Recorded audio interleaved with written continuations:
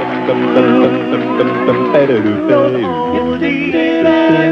it reminds me of you Reminds me of pictures of the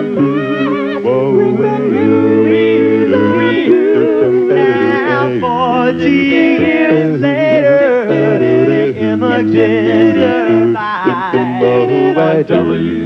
W-P-I-X 11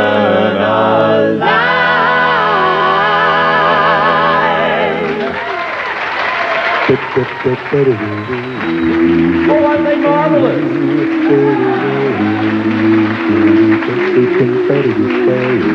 They get to sing while the management is still making up its mind about me. Well, it's not that I don't understand. It's the 50s, doo-wop, the automat, it all ties together. But really, don't you think it's time for someone with a little bit more hip? With it.